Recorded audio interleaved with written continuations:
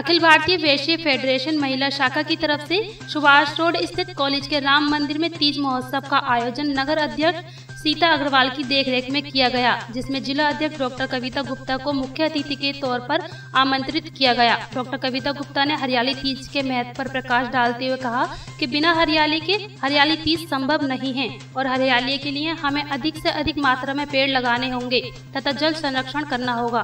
सीता अग्रवाल ने विभिन्न प्रकार के गेम आयोजित किए। महिलाओं के लिए कई प्रकार के सरप्राइज़ गिफ्ट निकाले गए। महिलाओं ने सावन के गीत, मल्हार इत्यादि गाए और सावन के गीतों पर नृत्य प्रस्तुत किए।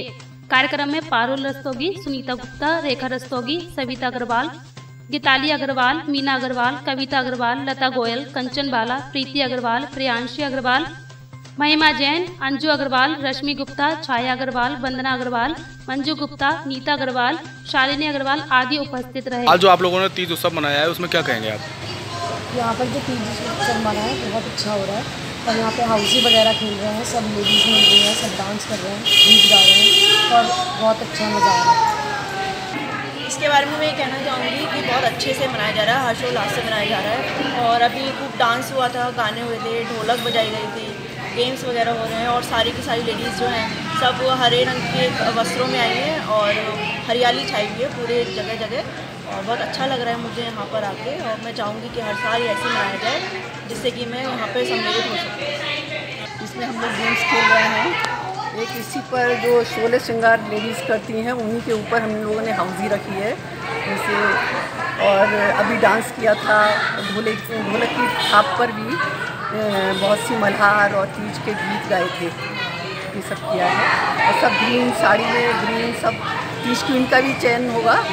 और ग्रीन साड़ियाँ सब और ग्रीन ही सारे जो अपने ज्वेलरी है, वो पहन के आई हैं लेडीज़ सब ग्रीन थीम रखी गई है साड़ी पर। ये तीज उत्सव जो है, अपने सभी सुहागिनियों के लिए मनाया जाता है। सुहागिन स्त्रियाँ मनाती हैं इसको। और ये बहुत खुशी का त्यौहार है ये। और सभी सुहागिन स्त्रियाँ खूब सोलह श्रृंगार करती हैं। और सब खूब उत्साह से झूला झूलती हैं। गाने मल्हार गाती हैं। बहुत अच्छा लगता है। सब आपस में मिलती हैं हम सब लोग। इससे एक दूसरे से मिलकर प्यार होता है।